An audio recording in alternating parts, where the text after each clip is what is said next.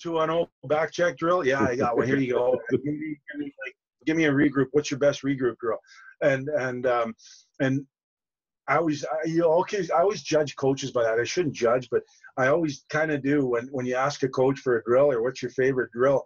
If they're really resistant to share that with you, it's like, look, having a great drill is not going to get you to the promised land, whether winning be your goal or whatever your goal is as a coach. Um, it's not going to get you the promised land, and we're here to to help each other and develop our players, and and, and especially at this level. So so um, working with these young guys that with with some have no experience. You know, it's it's invigorating.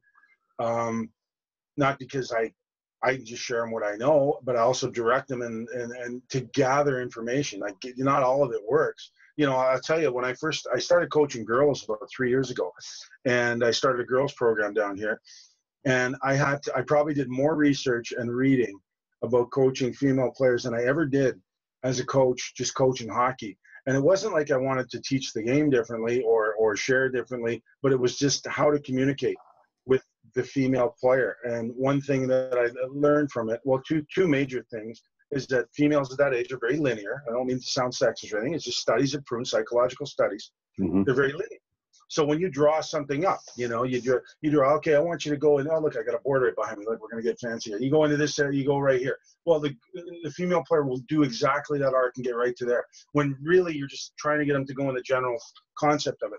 And the other one was to never single them out so if a girl had a great game and and I you know if I, one of the most detrimental things you can do with the female players to say you know Sally had an unbelievable game let's hear it for Sally you know and stuff because they don't want to be singled out either good or bad and those are those aren't sports studies those are just psychological studies and so when I I had to change my delivery and and the way I explain it because I saw we we're very fortunate here in Seattle we've got a couple U.S. Olympian um, uh, female players, Brooke Whitney's being one of them, and um, um, there's there's there's two. Oh, uh, Kelly Stevens, and Kelly Stevens spent a lot of time talking with my team, my girls group, and it's just the, the message, the way she delivered it. I'm like, these girls are hanging on every word. Yes, it's probably because she won some Olympics, but it wasn't just that.